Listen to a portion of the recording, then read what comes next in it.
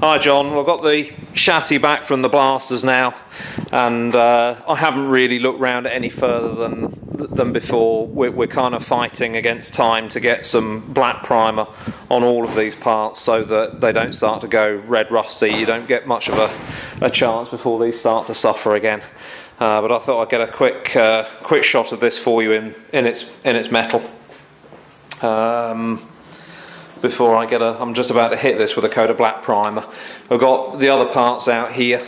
Um, we're just blowing all the, the sand and whatnot off them. Um, and as soon as we get those cleaned off, we'll then start laying some black primer on these. We can then go through do our bits of repairing and rebushing and what have you. So I'll do a bit more as things move on. Take care.